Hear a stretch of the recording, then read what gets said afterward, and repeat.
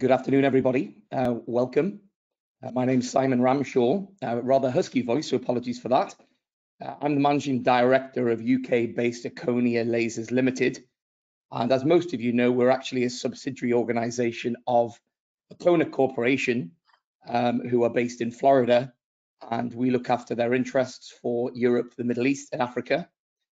Uh, throughout this lockdown period, we've been running plenty of educational webinars, which we hope uh, a lot of you have found helpful. If you weren't able to actually get on the webinars or um, you haven't um, got around to watching them yet, or you've lost the email with them, uh, let us know and we have a spreadsheet with links to the webinars that we've run and you can watch them in your own time. Uh, thank you again for joining. I'd like to introduce our guest speakers. Um, this webinar is being run by uh, Mr. Robert Sul uh, Sullivan from Middleton Laser Clinic in Ireland and Dr. Jake Cooke from the Neuromuscular Clinic in Woking. And the title is Assessing and Treating Chronic Pain, a case study of chiropractic treatment with true non-thermal laser. And we'll explain a little bit later on about what we mean by true. Um, we'll obviously be happy, all three of us, to answer any questions that you have at the end of the webinar and you'll notice down the right hand side, you'll see a questions panel. Um, if you'd like to put your questions throughout the duration of the webinar, and then by the time it's finished, um, we'll, um, we'll address those questions and pass them on to either Rob, Jake, or myself with the, uh, the answers. So without further ado, I would like to pass across to Jake and Rob. Um, they've got extremely impressive resumes between them. And I'd like them to explain in their own words a little bit about themselves and why they got involved with laser. So I will pass across to you first, Jake, if you don't mind, please. Hi guys, thank you very much for the introduction, uh, Simon. So uh, I'm a chiropractor. I have a special interest in neurology, uh, in particular, how do we control movement, balance, posture, and pain. So I first came across um, lasers and, and the Erchonia laser in particular when I had a, a patient with just horrendous, uh, horrendous widespread body pain. Um, and her, her, history was that everything had failed. So any, anybody who touched her pretty much made it worse. Um, and so she got in touch and said, you know, I've heard that these these lasers can be effective. Have you got any experience with that? And I, I didn't, so I went to do some research, and that kind of led me down this path to, to where I am now. I think that uh, one of the best ways to learn is go through real cases. So that's what I've tried to do for you today. We're going through a, a case of uh, chronic severe hip pain that spread to be a whole body widespread pain. And we're going to talk a little bit about why that happened, how to assess for whether there's central changes uh, or central uh, pain sensitization, and then where I start uh, in that case with treatment. Um, if you have any questions, feel, feel free to let me know. And uh, yeah, I, uh, I'll pass over to Rob. Thank you very much. So I am going to scare you guys by sticking my ugly mug on the screen. Um, some of you might know me, some of you may not. Uh, my name's Robert Sullivan. I am uh, I'm not an airline pilot. I'm a reconstructive uh, orthopedic podiatrist. Um, for the last, I think, 20 odd years. Um, my introduction to Erchonia was quite strange. Uh, I was involved in education and research at the time. I was dean of one of the uh, institutional faculties, and um, Erchonia were presenting uh, a laser at the time and I asked to see the research. What I ended up doing is proving that non-thermal low level laser really does work. As a podiatrist, you're kind of thinking, well, what do I know about pain? Um, I have very much expanded my, my scope of practice. Um, my scope of practice now used to include um, joint replacements as far as the, the hip um, and lots of other things in relation to pain. I've gone back, I've studied neurology, uh, I've done pain management. So pretty much a lot of what I do now in my clinic involves some podiatry and a lot of pain management and low level lasers. So um, I would treat pretty much any patient for anything that comes along with a laser. I've gone from being a surgeon who would have done 450, 500 operations a year to a surgeon who now probably does around about 10, maybe 12, just enough to keep my clinical skills. And the patients I only operate on now are patients that actually need uh, to be operated on. So I am going to run through the science behind this uh, and then hand you over to Jake. And because we're talking specifically here about pain, um, I'm going to give you a little um, bit of an insight in what a podiatrist uh, or a reconstructive orthopedic podiatrist knows about pain. Uh, at any stage during this, I'm going to invite Jake or or Simon to, to to butt in, even ask questions as we go along, because I think if you have something that's pressing and you stick it on the screen and the guys want to shout it out, then they can, or if they want to talk to me about what I'm saying, then that would be good also. So as always, from the top, we are talking about pain, and um, pain is one of the things that our body uses to tell us that something is wrong. And as we all know, there can be many types of pain. So then we're going to look at what happens when things go wrong. Uh, and that means in terms of sometimes we will experience a pain, uh, uh, basically in, through nociception, and occasionally that pain can begin to sort of go strange, go wrong, and and wind up. So we're going to have a look at a little bit of what happens there. Then I'm going to hand across to Jake's presentation, his, his video presentation. Uh, and then when he's finished that, we're going to come back and we're going to look at conclusions. And the conclusion we're going to really talk about at this time is is everything as simple as it actually seems and in reality it it is the kind of lasers that we're looking at today uh, which Jake is using is this one. Um, it's an Erchonia laser. It's a, a true non-thermal low-level laser. Um, what we mean by true uh, non-thermal low-level laser as opposed to low-level laser, which confuses a lot of people, is this is a true laser. It is columnated, it is monochromatic, it is unidirectional, everything is in phase, frequency, etc. Um, and a lot of what we would see out there pushed as lasers aren't actually lasers, they are LEDs. And the confusing point about it is both are measured in, in nanometers, both are measured in uh, hertz of energy. But when we talk about this kind of true non-thermal low-level laser, we're talking about a laser that can only be non-thermal because a, a laser that's designed as a cold laser can be hot and a hot laser like I would use in surgery can be cold. This baby can only be cold. So, pain. As we all know, we've all experienced it at some stage, pain is an unpleasant sensation. And it can be anything from just a little bit uncomfortable to, oh God, that's really painful. Um, pain in most people will always evoke an emotional response. So if you stick your finger on the hot ring of your cooker, it will uh, uh, provoke an emotional response, usually um, concluded with a number of expletives. Um, pain is usually linked to some kind of damage. So if I've stuck my finger on the hob, I'm going to have a burn. That's that's damage. If I'm running and I fall, that's damage. If I twist and strain, that's damage. And usually it, a lot of this is tissue damage, unless of course, you know, we, we snap and break something. Pain is something that also allows our body to do something else. It allow, allows our body to react in a particular way that helps us to prevent further damage of that area and also to try and present, uh, prevent damage of another area. And as we know, the experience of pain is extremely different for everybody. So, you know, I sometimes say with my patients, you know, they will say, I'm doing a particular procedure with them. They will say, Is this going to hurt? If it's a man, I tell them, Yeah, this is really going to hurt. If it's a woman, I would say, This is not going to be so painful because research tells us that men experience pain far differently to how women experience pain. So moving on, we have types of pain.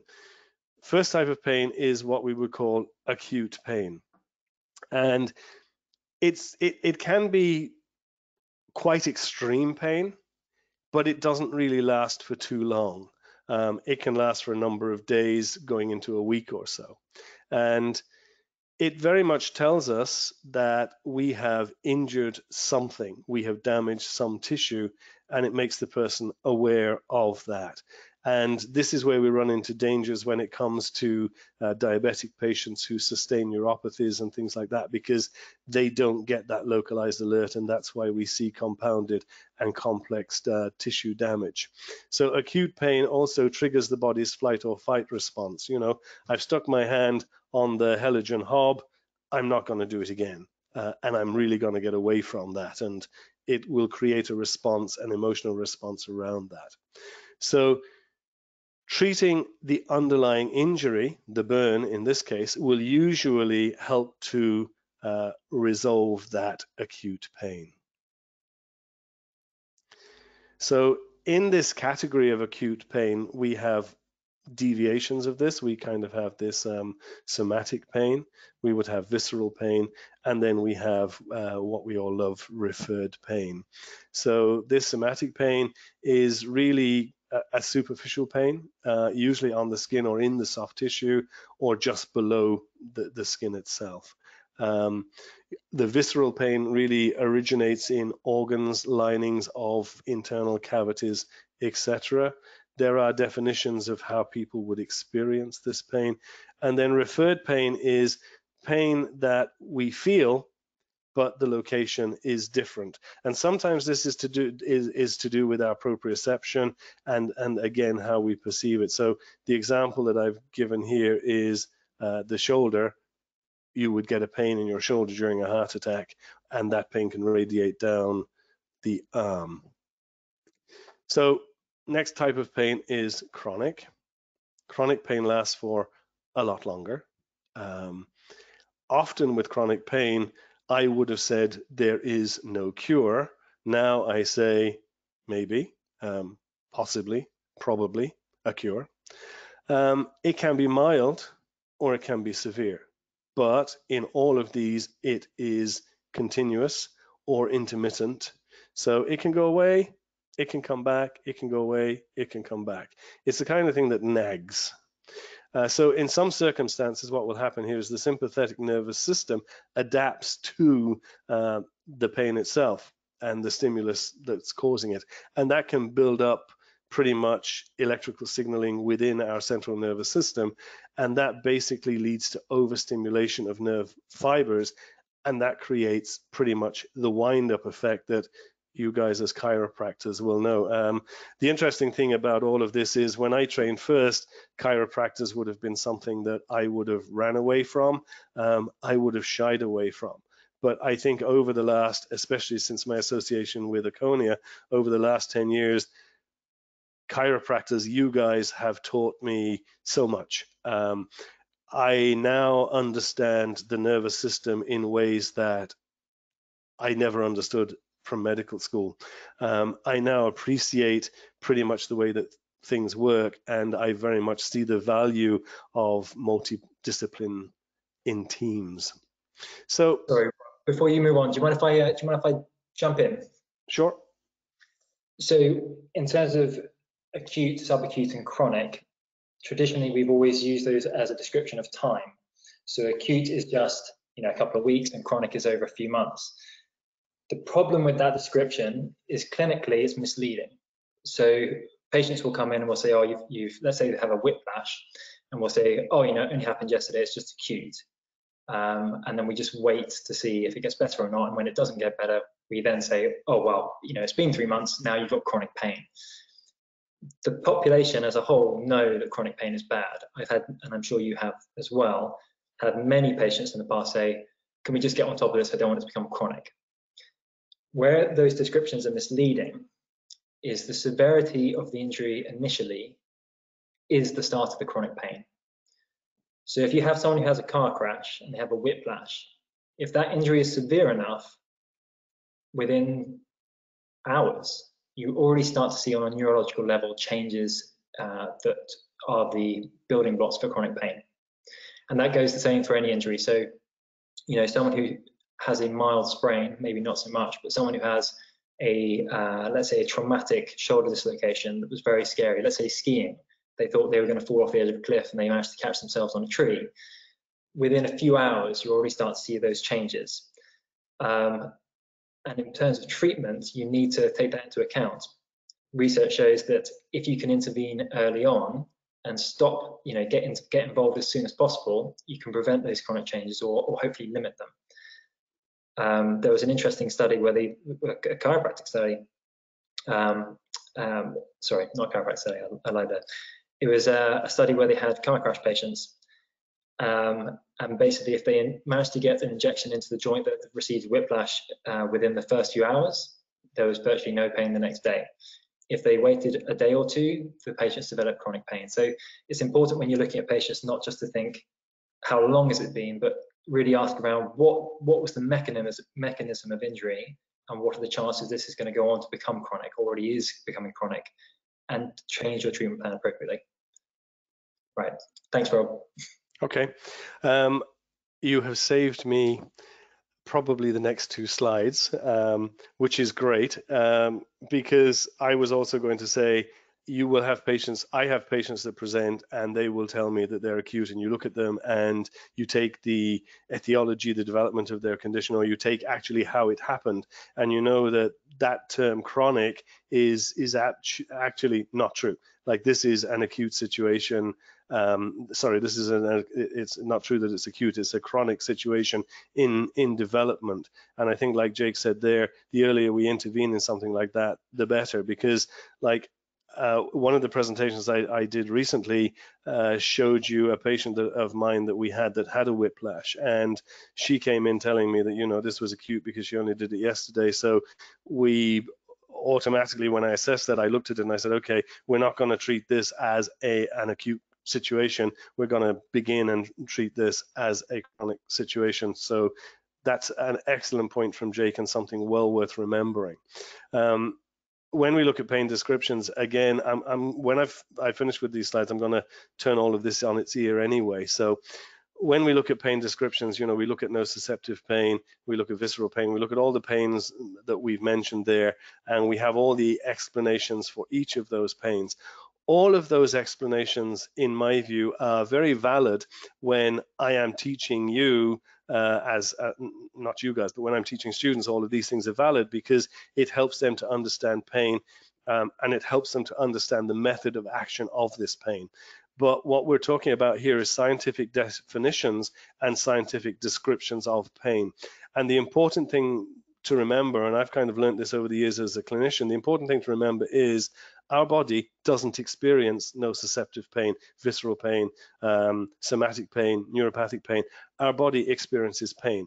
It experiences pain in, in different differing degrees, but our body particularly doesn't exactly know what type of of pain that is. It just knows it's pain and that it's there because our body is very much something that functions as a total unit in this particular time in this particular space. Our body has no awareness of what that pain will be like in five seconds time or what it was like five seconds before that because it's a, a moment by moment moment thing. So we have these definitions of pain in order to help us classify something and in order to tell us what nerve or potential state we need to treat in relation uh, to that pain. So what I want to look at briefly, and and and Jake, again, you, you, would be far better at this than I would. You know, what we want to look at now is what happens when things go wrong. I did a big troll of the the research behind this to have a look at. And the one guy that I came up with was this Woolf guy. Um, and you can see what he's basically saying there, activation of the limbic, ba, ba, ba, and all of this. And like, what we forget when we look at pain is we actually forget that we actually forget what's happening. We sometimes are so preoccupied with the pain that we forget the patient. And I think when, when we look at a statement like what we have there, we can pretty much see what we need to do. We need to start looking at the patient, stepping back. And we don't just look at the patient in terms of pain. We look at the effect this pain has on their system. Does it change the way they walk, the way they sit? Does it change the posture? Does it change what it changes? And all of these are very much indications into the treatments that we, we need to give. So this, this basic thing of when things go wrong, this basically in, includes really in this increased um, I suppose, increased synaptic e efficacy, really, uh, which means that when things go wrong, everything else hurt. Things are more triggered. So if we take a pain um, that's a small pain, that pain can become a big pain if it isn't treated, because basically the synaptic efficacy of that will begin to trigger other things. Um, we would see increases in uh, neuromodulatory cells. We would basically see more transcription in, in genes. And we would also see, and a lot of time we forget this, and this to me is very important, it's fundamental to pain. We would also forget that there is an immune system response which is directly impacted by this chronic pain. And I think these are very, very much important things to remember, especially when you have a tool like this, because you have something that basically triggers the chemical process within our body to treat not just pain, but to pretty much treat our immune system as well. Because as far as I'm concerned, our bodies contain everything we need to fix themselves. We just sometimes lack the energy to do it. This device is the energy, and that's why it's so effective across so many things because the laser itself is purely a delivery system for the energy that our body needs in order to repair itself. So the other thing that we see when things go wrong is we see increased receptor field size and density. Um, and all of this will basically lead on to more sensitivity within the nervous system. Um, and it makes it a little bit more difficult for the body itself to detect where this this this stimulus is coming. Um, and of course, a lot of this will go on for a long time. And Jake is going to talk about this a lot better than I can. So I'm going to click on this link. It's going to take you to Jake's video. Hopefully what I've said around it will help into this and Jake and I will come back and talk to you afterwards. So question, how do you know when central pain sensitization is occurring? So just to stop me having to say central pain sensitization every time, let's call it CPS. So how do you know when CPS is occurring? And what is it in the history that tells you? What is it in your physical exam that tells you? So to answer that question, I thought we'd go through a case. So this is a real case. This is the last new patient I saw before the lockdown started. Unfortunately, she has a terrible uh, case of asthma as well. Um, so not only was she my, my last new patient, she was also the first one I had to tell not to come back.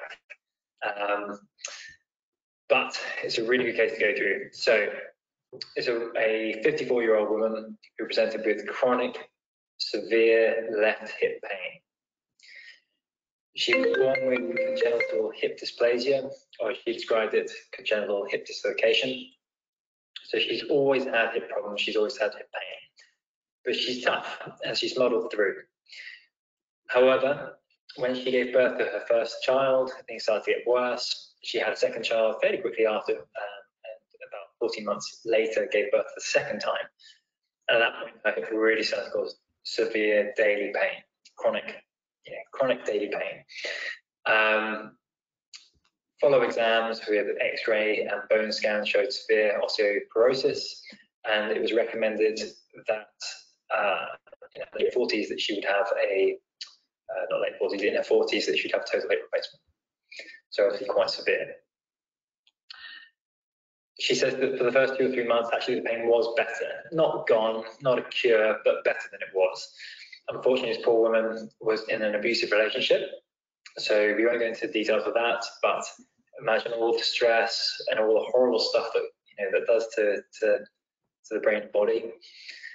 Um, and then she fell, and slipped on some ice, landing hard on her on her low back. Now, the hip surgery was a complete success. Surgeon was really happy with it, and when she fell, she didn't damage that hip at all.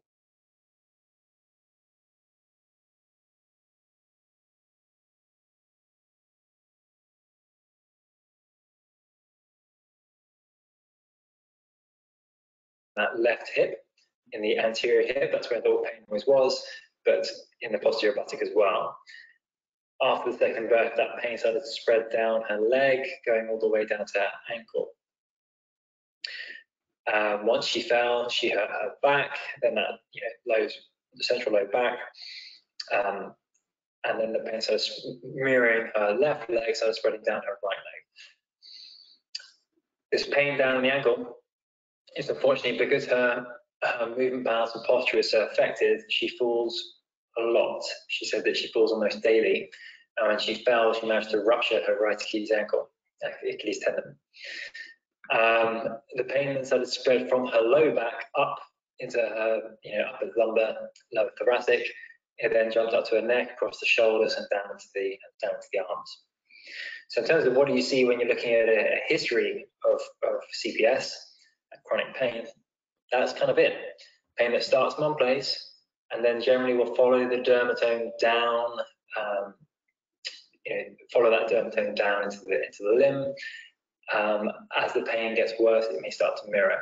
So if we were to say, I hurt my, my left shoulder, let's say I've got a supraspinatus strain, we will always get primary sensitization in injured tissue. That always occurs. So by primary sensitization, we mean that when we touch, it's more painful than someone that's not injured. Pain pressure thresholds. So if I'm poking myself in the chest, I can poke pretty hard without really reporting any discomfort there, any pain. If I sprain my supraspinatus, what we'll see is, you know, with much less touch, I'm more likely to say that's painful. And you're going to see that in any injured tissue. That's not a problem. That peripheral sensitization is part of the healing process. You know, these little nerves become more sensitive to say, lay off me. You know, I'm repairing this part, don't hurt. The secondary hyperalgesia, which is an indication of central of CPS, starts to occur, or we know it's occurring, when tissues adjacent to the injured tissue, so non-injured tissues start to hurt. So I injure my supraspinatus, but now actually when you start to poke around infraspinatus, that actually really hurts too. Maybe um, maybe you know, over the lateral part of the shoulder is painful. Maybe start to see that my biceps actually when you squeeze that, that's really painful. So generally it's going to affect areas that are of the same dermatome. So it's five six, anything that is um, you know receiving that five six is going to hurt too. And then it will start to spread down the spinal cord. So that's that central that CPS. I'm telling myself I want to use that CPS, and yet I keep trying to say the tongue twister. So if you think of um, your segmental levels, you know, obviously five, six, seven. So the pain starts to spread inferiorly normally. So that means the patient will say, yeah, originally, let's say the pain was in five, then it started to go down six, now it's starting to go seven, eight. So the patient basically will say, yeah, it was just my shoulder. Actually, now I feel it quite a lot in my hand. And when you, you can identify that by doing your, your uh, pain pressure thresholds in that same area. So really, this shouldn't hurt, right? Not really. Might a little bit tender, but it shouldn't hurt. You know CPS is present when you squeeze these things, and they really do hurt when the patient, you know, starts to yelp. That can spread the whole way down the spine. So let's say it was my shoulder. First, it will go down to the whole arm. Now it will go into my thoracic spine, lumbar spine, down to my leg. So the patient might say, and I'm sure you've seen this, it's my whole left side. Yeah, it's just my left side's crap. It always hurts. And when you palpate, you'll find, yeah, that whole left side was painful. The goal is to identify where was the primary cause and where will that pain start and then figure it out. Patients with pain pressure, reduced pain pressure thresholds will, uh, you know, for a shoulder injury, will report reduced uh, threshold all the way down in the foot, in the anterior tibialis. It's, it's a really good thing to look at. And it really gives you an indication of, on that pain scale, where this patient is. Is it just a little shoulder sprain, they've had it for one or two days, or is this a deep-seated, you know, central pain problem that's going to be really hard to treat?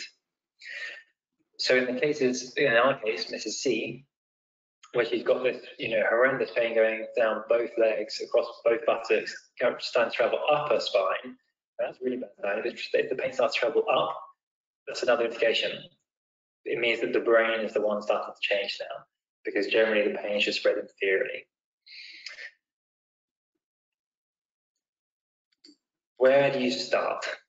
So, with this kind of case, this was referral from another chiropractor. So, yeah, that's another clue to your history, right? A patient who's seen everyone. That's never good. That's never good. We don't want to hear that, right? When they say, oh, I've always seen a physio, chiropractor, an acupuncture, I've had pain meds, I've been to a pain clinic. You know that sensitization has already occurred. So when do you start with a case like that? I start, I would say all examinations, but virtually all, uh, nearly all, with gait. So to have a healthy gait, you need a good cardiovascular system, musculoskeletal system, strength, balance, endurance, rhythm, posture.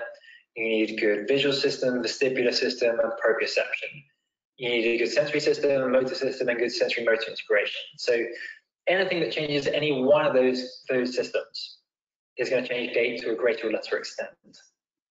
So gait is a bit like having a good look at the wood and not just zooming in on the tree straight away. Have a look at the wood, and identify which part of the wood is the problem, and then start to look at individual trees. With this patient, when she walked into the office, she was, no exaggeration, bent over like this. She had a walking stick in her left hand because obviously that's not a, a stable position. Uh, as we know from her history that she says she falls most days. So when you're looking at gait, when it comes to an antalgic gait, generally patients lean away. So if it's you know uh, foot, ankle, knee, or back on the left side, generally people will lean away to take the weight off it. When it's hip, however, often they lean towards. Um, it's just to do with biomechanics, it offsets the pain, um, offsets the loading. So she's leaning heavily, heavily towards that side. Um, at the same time, you see a, a heavy hip uh, hip drop uh, on that on that left side, um, and she's got all kinds of crazy compensations. Her gait is short and shuffling and very wide based. The core features of gait, you know, because there are so many things you can look at gait. Um, look at the core features. What is the stride length? What is the speed? What is the, the width? You don't actually need to know the specifics you have seen enough normal people to know what normal gait looks like and to recognize an unnormal gait. So reduced speed it has a highest correlation with falls. So if someone walks in and you ask them to take 10 steps or as many as many meters as you can, if they look like they're shorter steps than normal, um, uh, sorry, if they got slower than normal, that's the highest uh, risk of falls. Um, shorter stride is the same, and wide base gaits anything wider than 10 centimeters. So wider than 10 centimeters, we know they have a problem with balance. You may not know why they have a problem with balance, but we know it's there. It makes sense, right? If you think of any of your back pain patients, your, you know, your real acute pain, acute, acute back pain patients, they don't just stride into the room, you know, and look healthy like they're striding on the on the on the moorlands. They they look like they're in pain. That's basically what you're looking at for the core features: reduce speed, reduce stride length, wide base. On examination for her, those pain pressure thresholds were so severe that just running your thumb, um, exaggeration, just running your thumb along her skin was painful. She has a massive scar from where she had that total hip replacement. So despite the fact the surgeon obviously did a great job and it was complete success, you could be the best surgeon in the world, and even if you're using keyhole surgery, you still have to punch it through skin. There's nerves everywhere. So with her history of chronic hip pain and abusive relationship, uh, two children who, um, for those who have kids, we know that's stressful enough, right? So for someone in that situation, any activation of pain is going to is going to risk amplifying.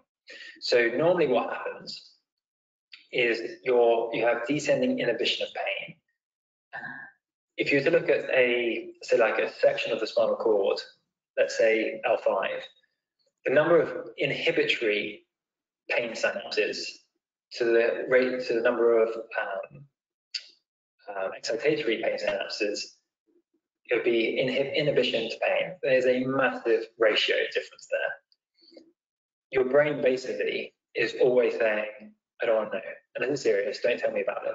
Don't tell me every time I take a step you know, on a slightly uneven surface that's painful. I want to know about that. I want to know what the other sensations are like. I want to create healthy movement, and pain interferes with that. So let's inhibit pain until it's really serious. what's going to be happening with these central pain sensitizations so that ratio starts to drastically change. I've not seen any, any research that says it ever reverses because that would be just horrendous, but the ratio dramatically reduces. So the number of inhibit inhibitory cells massively drops, and at the same time, number of excitatory cells increases. Um, so for, for this poor patient, it means as soon as you, you know, best version in the world, as soon as you cut through that skin, you're bombarding the dorsal, dorsal uh, horn with more pain, and that's a system that's good to go. So that slight injury, bang, that pain shoots up to the spinal cord, up to the brainstem, up into the brain to tell you she's suffering. But it wasn't keyhole surgery, it was a total hip replacement. So he's also had to cut through all kinds of muscles uh, and a whole bunch of other nerves you often see around scar tissue that it's incredibly painful. And if you ever feel it feels quite nodular, what you're often feeling then is, is literally neuromas. So where these little peripheral nerves were passing through the skin or muscle, where the surgeons had to cut through them, you get a complete transection of the nerve, which results in a neuroma. So a neurotmesis, which doesn't normally recover very well, especially if you've got like, scar tissue in front of it. But that neuroma itself becomes very, very painful. So that's why even just running my thumb along her along her skin is severe pain. You know, nine nine out of ten, just for something as simple as that. So that's the primary cause of the pain. When we look down the rest of the leg, all of it hurts. Not as severe as that, that primary, but everything else, you know, even the sole of her foot is enough to get her to, to have a withdrawal reflex, you know, pull her leg away from you. So we know that that pain system is super, super angry and really, really aggravated. So in terms of treatment, where do you start? if I can't even touch her skin without causing her severe pain, and the last thing I want to do is amplify that. You know, I don't want to do anything that's going to produce more um, uh, neurological, cellular, genetic changes that when she leaves my office the next two or three days, she's still sensitizing. So where do you start? Um, I'm a big fan of, uh, I borrowed this from, from Ulrich Sandstrom, um, which is calm things down, build things up. So in that case where she's so sensitive, the place to start is with one of your with your laser. You, know, you, you can reduce pain without even touching the patient. That's why I got one in the first place. I had a few cases like this where they failed every other treatment, and you don't want to be the next guy on that list of failures. So um, the way I use it is I know the dorsal horn of the spinal cord has changed. It's not healthy. Uh, it's promoting pain way too much, and the inhib inhib inhibitory synapses are just not firing very well don't have the strength in numbers um, and maybe don't even have the, the, the, health to do that. So you can do it a few different ways. I would put it uh, on, on the dermatomal setting. Um, and then basically, if this is my spinal cord, you've got options. You can either paint up and down, or you can do this. Or um, for some patients who it's important that they, they feel your, you know, some patients want to know that you're doing something, not just you know a bit like ultrasound, you can't feel anything. So sometimes with some patients who are a bit more um, needy is not the right word, but you know what I mean. I'll sometimes just place it on the spine, and the machine, if you don't have one yet, uh, gives you a beep. So it almost gives you like a count. So identify the spinal spinal level, place it on there, and basically wait for the beep, and then I'll move it down one level, beep down one level, beep down one level, like that. I might do that two or three times we're then going to change the setting onto either a pain setting onto a universal, and then we're going to come over um, over the injured tissue, over the primary area. So for her, I mean, my hand doesn't look anything like a buttock, I hope, um, but let's pretend it was. Let's pretend that's that's her glutes. Um, this is out towards the trochanter, and this is more out. This is more spine. And then we're going to paint, and the way I'm going to do it is it's going to be one, two, three, and I'll do at least five passes, but probably I'll do more like a minute or two minutes, depending on how severe it is.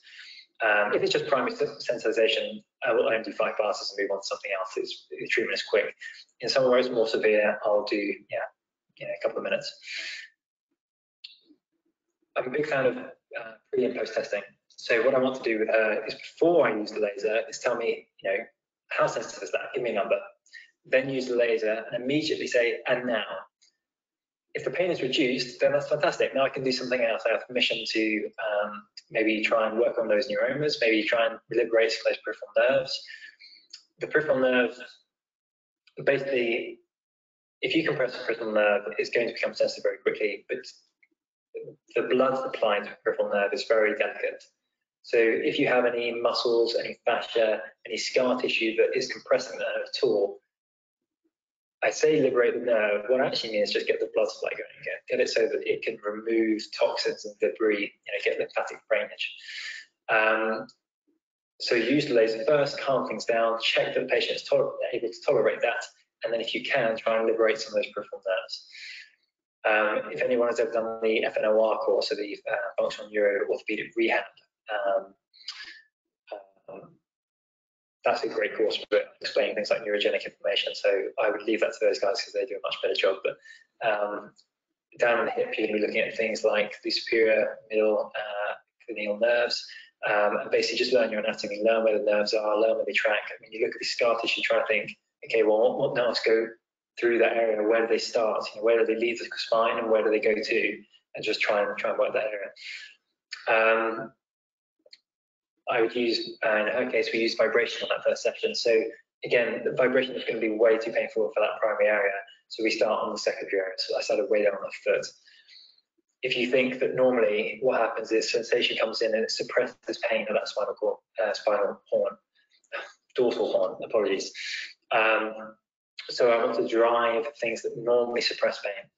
So vibration, you want it very quick and you want it light. So you're not pummeling the patient's foot and producing pain. It should be a nice experience for them. So start on the foot and then slowly work your way up, up through the leg, up the dermatomes, um, getting as close to that scar tissue as can without aggravating the pain. So with her, laser, um, try to uh, do a little bit of soft tissue work around those neuromas.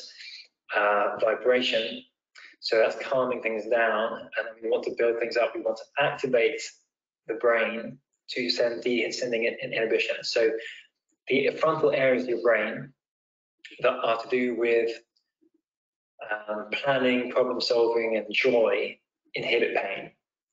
So we want to give her some kind of task that makes her think, makes her plan, makes her problem solve to, to get that descending inhibition and start to try and rebuild those healthy synapses and get rid of those unhealthy ones. So I had her lie on the side. We know through that hip drop and through her terrible gait and through the surgery that that glute medius is, is weak.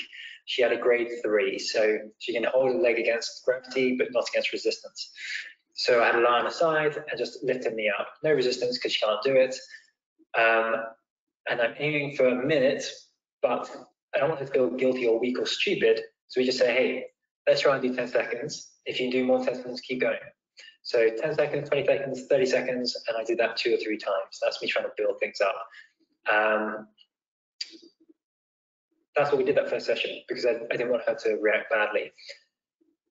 Again, without exaggerating, her gait honestly was like this the first time. When she stood up and started walking, she was she was upright. Um, her gait speed had improved. It wasn't perfect, her stride length had improved. Again, not perfect, but much better. Enough for her and her teenage daughter to give you one of those, oh my God, this is so much better, which is just the joy, right? That's what we want to see. We don't want patients getting up and going, oh, yeah, it's a little bit better. We want that. Yeah, oh my God, it feels so much good. Um, and to impress a teenager is always a delight. So, and that's, that's what we had.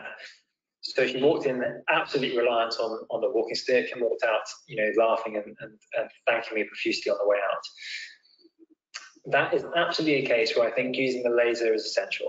So I've I've seen cases like that before where I didn't have the laser and I've just hurt people. And, I'm not going to say I couldn't help them. You know, people, as long as you're doing the right thing, get better. But it took a long time and there was lots of ups and downs. And I feel like the laser, especially in cases like that, just gives you the ability to take a hands-off approach and say, I can still help you. Um, in severe cases, I might not touch them at all. Just say that's all we're going to do for today you're just going to come in more frequently than normal, and we'll just use a laser. Um, in the research, they'll often use um, they'll often use laser daily. Um, so, but treatment is really short. So the patient literally comes in, you just check everything's okay, use the laser for a few minutes, and the patient's gone. So if you do need to get them in daily, it's not a massive chunk out of their day. They're not spending half an hour with you. My appointment's normally a half an hour, so it's, you know, it's a decent amount of time if they take time out of work. But if they can just come in for the morning for five minutes or the evening for five minutes, then that's not so bad let's recap. I, I, tend to speak fast and I tend to get excited, so let's just recap on what, what we said. So primary sensitization is going to occur in all healthy tissue, uh, not healthy tissue, all injured tissue. Secondary hyperalgesia occurs when central changes start to occur. And generally, you're going to see it spread down through the dermatome. So if it's C5 originally, it will become C6, C7, C8, T1, and it'll start to spread down the spine. Um, equally, if it started in, uh, in, say, the hip, you'll start to see it spreading down the leg. You know things getting very serious when it starts to spread to the other side. When we call it widespread pain, that's not good. If you would say, look at low back pain, um, mild, non-specific low back pain will have a higher pain pressure thresholds than someone with severe non-specific low back pain. Their thresholds will be higher, or their thresholds won't be as sensitive someone with mild chronic low back pain. They won't be as sensitive as someone with severe chronic low back pain. They won't be severe as sensitive as someone with widespread pain, and they're not sensitive as someone with fibromyalgia.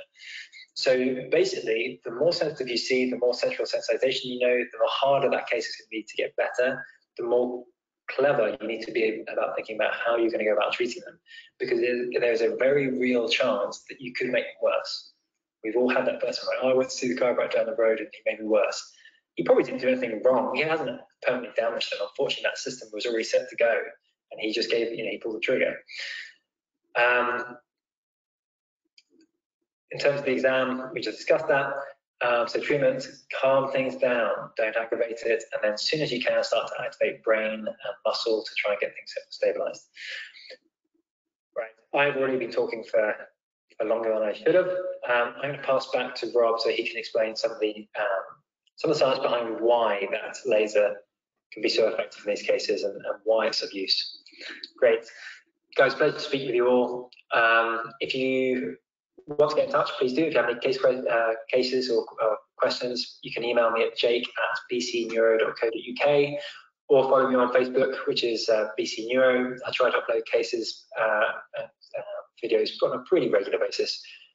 During this lockdown, it's a little bit harder. Um, so yeah, get in touch. Have a good day, guys. So, uh, Simon, can you pass uh, back to me, please? Thank you very much. If you're anything like me, then maybe you're one of those people who. Sorry, something went off on YouTube. Well, we could always continue with YouTube um, yeah. and, and see what happens. Right, guys, um, back to me. Um, I'm going to try, um, if I can, to explain a little bit of why um, we get the responses we do from from um, from laser.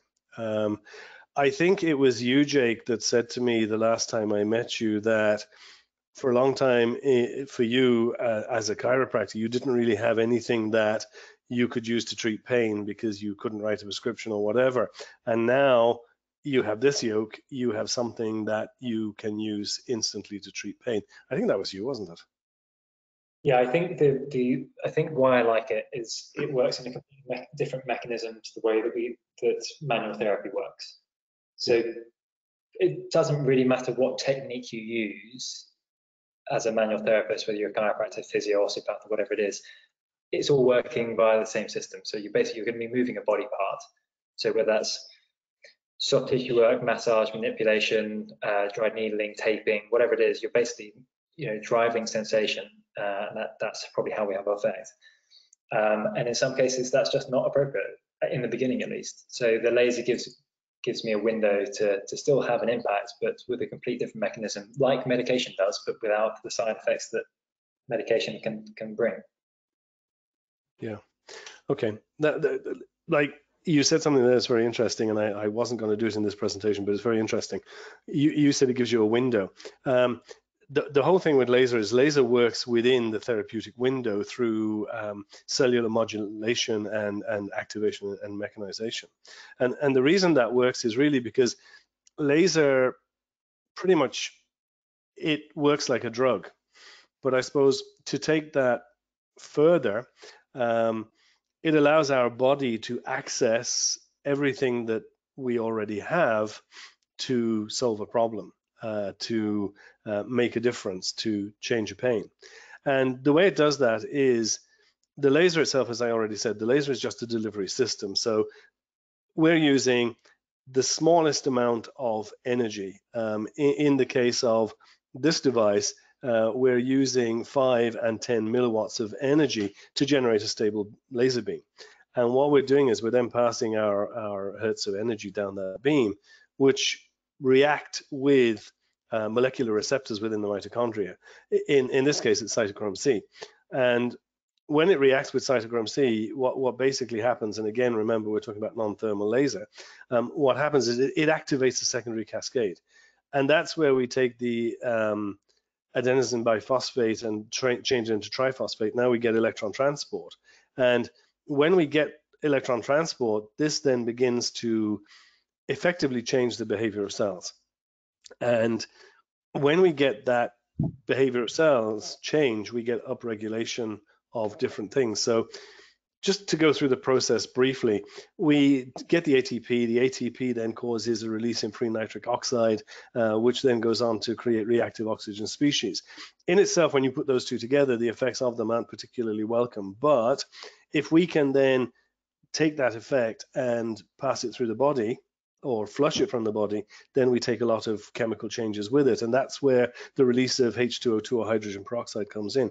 And as we move down this cascade cycle, what we actually see is um, upregulation um, uh, genic upregulation, so especially around the IL series, especially when it's in relation to pain. So we would see an upregulation of these therapeutic biomarkers. But what um, one of my colleagues noticed in Russia back in 2018 was that we also see downregulation and we also see uh, prevention of certain types of proliferation. So when it comes to pain management, we're actually working on the principle that our body has everything it needs to sort out the problems that we create for it and that get created within it. All it sometimes lacks is that energy. Um, this device gives the patient the ability to recover more quickly and to soothe pain by these chemical uh, interactions. So what we understand is that when we get these increases in nociceptive thresholds, what we need to do is we need to be able to calm that down. And calming that down is something that these lasers pretty much do um, very, very actively. And what they can do is they can actually stimulate the correct type of nerve traffic, which allows nerves to go back into their resting potential states and allows them to become what they need to do. But the main thing with this is it will interrupt the prostaglandic cycle, um, and it will also um, help with what happens with acetylcholines um, around the whole mitigation of the pain cycle. Um, so as you can see, there is a lot of research out there in terms of how this works, why it works. Um, there's also some research out there about why it sometimes doesn't work, because pretty much all of the time, um, these lasers will give the desired effect. And I know Jake's been working with them for a while now. Uh, I've been working with them for years. I used to be shocked and surprised by um, what these lasers seem to do. Now I sometimes get a little bit shocked and surprised at the things that they don't do. Um, I have yet to find lots of things that they don't do. It's more so what they do actually do. So if you look at that last statement there, you can actually see lasers will cause basically production of all of the good things that we need in order to regulate um, and bring our bodies back to normal balance. So I think really when we look at non-thermal low-level lasers, the effect that they have is they, I don't like the word mimic, but really they mimic the effects of these anti-inflammatory drugs that we would we would use um, quite well. But if we take the word mimic out, what they're actually doing is we already have everything within us to do this. So we're not mimicking anything. We're actually activating what we already have. And as we age, if you were on last week's lecture, as we age, our body's ability to do things changes because we basically don't have the cellular energy that we need to do that. This laser, these lasers, these non-thermal low-level lasers, they give our body the stimulation that we need to actually do what we're supposed to do. So the effects to produce that anti-inflammatory action, to interrupt that prostaglandic cycle, and to basically um, allow our body pretty much to do what it's supposed to do. I mean, we're all trying to get bodies to hemostasis. This is homeostasis. That's basically what's happening here. So when we look at the positive effects of 405 uh, and and 635 nanometer lasers, which are the the lasers here that Jake and I are, are speaking about, like the positive effects are well recorded and documented in the literature. Um, I constantly use this slide because it pretty much shows you everything that happens. So take a second there to look at that slide and you can see all the effects that this non-thermal low level lasers have. And this is a very interesting paper. It's, it's, it's a recent paper um, and it comes from probably a part of the world where God knows they need a lot of, of, of pain relief and they have discovered this pain relief basically in these lasers. So in conclusion, um, I'm going to ask you a question, and the, the, question I'm going to ask is: Is it possible that our bodies have everything they need for a happy, healthy life? The only thing missing is the inspiration to function. I think my answer to that question and, and my conclusion to this, working with these lasers for long for so long, is I have sat in my clinic, and I have had patients with what Jake very well described and I'm not a chiropractor, so I didn't have a clue that what they had was what Jake described in, in terms of this central uh, sensitization thing. Um, but now I appreciate that. But instinctively, because I used the lasers, what I did was I took the laser and I behaved in a certain way, pretty much the way Jake described. And I think if you have these devices, and I think maybe Jake, you might agree, if you have these devices, you become intuitive with their use, and it's almost as if it becomes an extension of yourself. For me, it's like my tools basically are nippers, scalpels, and that sort of thing. Now, my tools have changed, but my tools are extensions of my hands. They're the way I feel and sense my patient's pain, my patient's universe. So for me, like this is an extension of, of, of my, my hands that allows the patient to basically experience life without pain.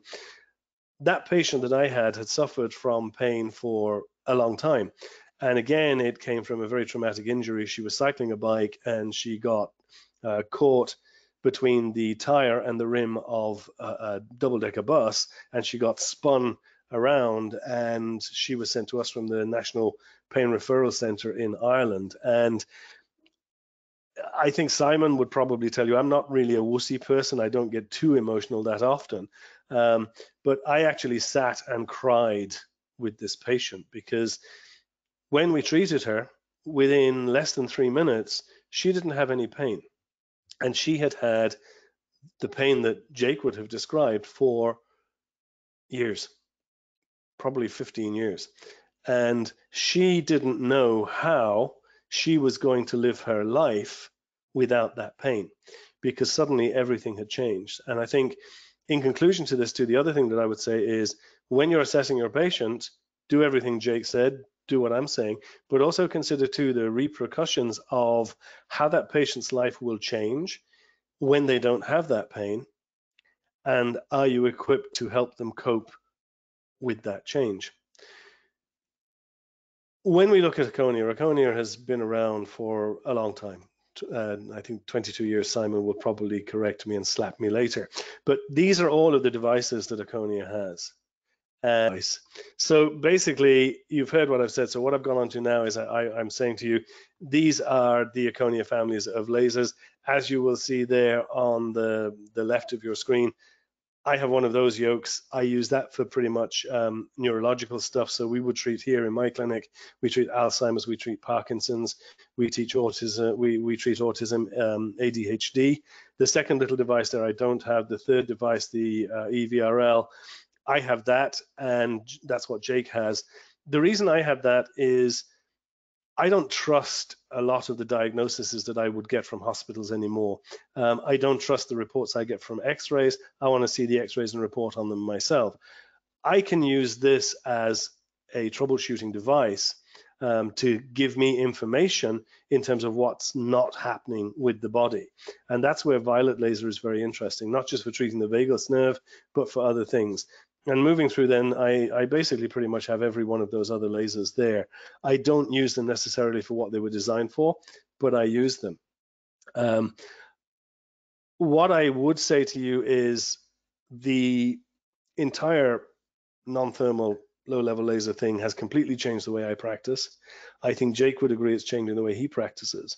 And for me, it's taken me from a practice that was based when I trained into a practice fit for the 21st century.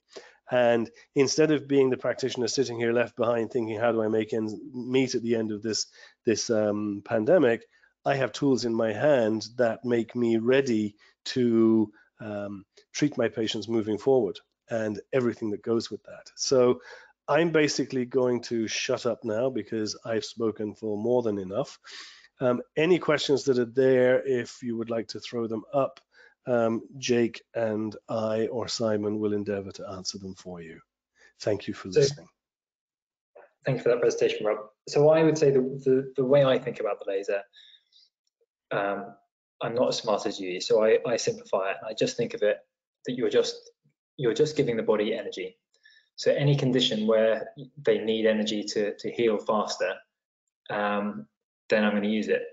So I had I I like rock climbing and I, I strained a glute um, doing a stupid move and it was one of those real acute painful strains. So by the evening i was yelping every time i tried to sit down stand up rolling over was you know rolling over on the sofa was agony. Uh, and my wife kind of correctly said i think you're going to be in a lot of trouble in the morning. Uh, it's like yeah it's going to be awful. So i basically just lasered myself um, pretty much i think i did it for two minutes three times that day so i strained it in the morning did it three times in the day um, and I'm not going to pretend like I didn't use it and suddenly think, oh my God, all the pain's gone. Maybe walking a little bit easier, but not, not a miracle. The next morning though was amazing. The next morning I woke up and I just rolled out of bed. I, you know, honestly was, I was astounded by it. It was amazing. Um, so something that I thought, you know, day two is normally worse. This is going to be absolutely horrendous. Actually was really good. Uh, and I've had that with a, a tennis player spraining, spraining a calf. So basically any condition where you think is is energy going to be an important part of this healing process? That's that's the case where I use it, um, and that doesn't you know it's not cure all, and it doesn't mean it's going to to make your your you know it's not going to make your clinical life suddenly super easy and fix everything. You still have to think about it. I use it as a, as a powerful adjunct to to other things. So I tend to use it at the beginning of my treatment to make sure the patient has the energy to to do the rest of the treatment as, as well as possible. Brilliant. Thanks for that, Jake. And apologies to everybody about some some technical glitches. Um, you know, you troubleshoot as you go along. So I think with the video, um, what we're not quite sure why it didn't work from Robert's laptop, but it did from mine. So you you got to hear it in the end, and I managed to expand the screen eventually. So thanks for bearing with us. Uh, if I can just go through some questions, guys. Um, this one specifically goes to earlier on, which I think was answered anyway, but I'll put it to you acute pain is not always the result of a physical trauma, is it? Question mark. No, it's not. Um, I think is the easy answer. Jake, do you want to jump on that as well? I, I think for me it's an easy one. No, it's not. Yeah, pain is really complicated, right? Yeah. Um, yeah, I mean, it's normally, the, I mean, the majority of the time, right, it's going to be related to, some kind of injury. So it's going to be, um, a fall, a slip, a strain, a crush, you know, something happened to that patient. Um, and then there's obviously the psychological aspects and stuff like that. But yeah, the majority of the time it's something has happened, but no, it doesn't have to be. All right, thanks, guys. next question, and we can easily sort of go to Rob, then we go to Jake, and then I'll go on to the next one. Um, is it the gait that causes the pain or the pain that interferes with the gait? Or do you want to go with that one first, Jake? Yeah, that's a great question. Um, so in her case, because she was born with congenital hip dysplasia, the just the biomechanics of that hip had never been good. Because the biomechanics weren't good, it was producing pain, and then pain basically. The way I always think about it is it's sensation in, movement out. So in that sensation, you've got healthy sensation that's telling you about um, the strength of contraction, the, the direction of movement, all that kind of stuff. And then you have pain. Pain interferes with proprioception. So um, you know, movement is based on the visual system, the vestibular system, and proprioception. Your brain takes that information, puts it together to understand where your body is, where things are around you, and how to create healthy movement, balance, and posture. Pain interferes with that.